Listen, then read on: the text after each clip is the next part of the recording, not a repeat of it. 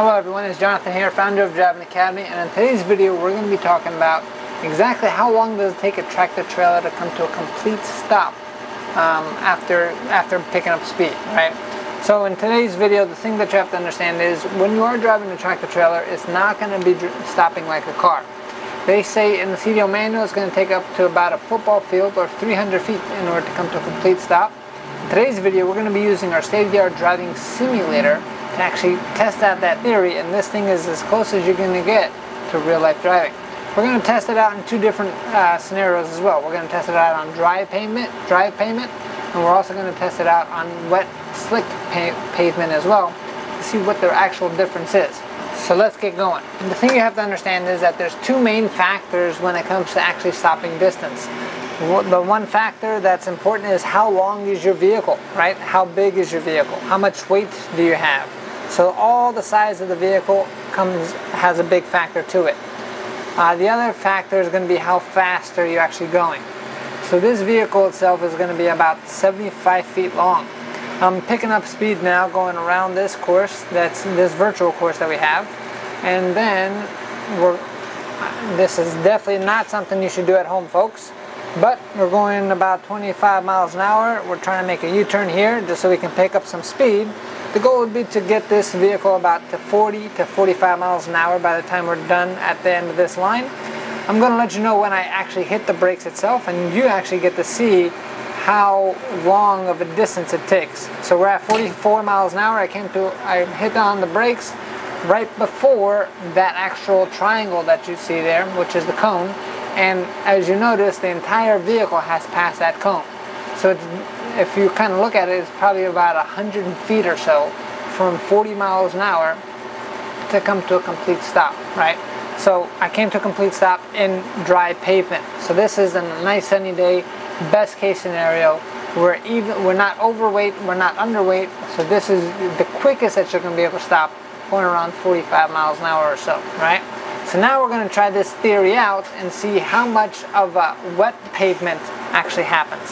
So on the other side of this course, there's actually wet pavement going on. So we're going to try to pick up some speed, and we're going to see exactly what the difference is going to look like on the back end. So those yellow lines are the slick pavement. Right now we're going about 30 miles an hour, try to get to 35. Okay, we're at 35. We're going to come to a complete, uh, I'm pressing on the brakes all the way down. And as you notice, with this wet pavement, it still keeps the whole thing moving. So we've probably traveled about two truck lengths already, as you can see from the actual lines painted on the ground, until we have come to a complete stop. So, what does this mean to you while you're actually driving? So one of the cool things about being a student here is that you actually get to experience this on our simulator before you ever experience this in real life. And this is not something that you want to experience in real life. Because if you ever have to come to a complete stop and you don't have enough distance in front of you, that can be the difference between living and dying that day, right? So here we really want to hammer in the safety of actually driving in a tractor trailer because as you can see, at minimum with clear, perfect conditions, it's going to take you at least 100 feet to come to a complete stop. Think how much can happen in that 100 feet, right? So if you understand that mentally inside your mind, you're going to be driving your car much slower, you're going to be driving your tractor trailer much slower, because in order for you to stop an accident, you're going to have to make sure you can come to a complete stop in the proper amount of time.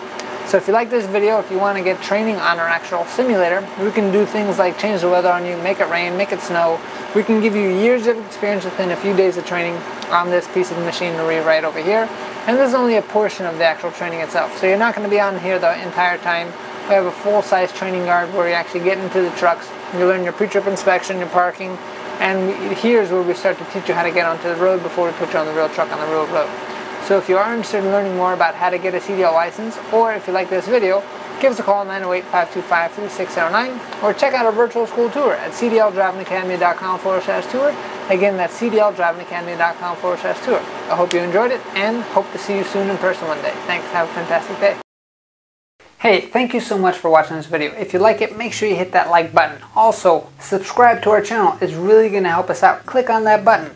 And if you want to continue yourself on your road to freedom, here's more videos to watch. There's endless amounts. Hopefully we get to see each other one day very soon. Thanks.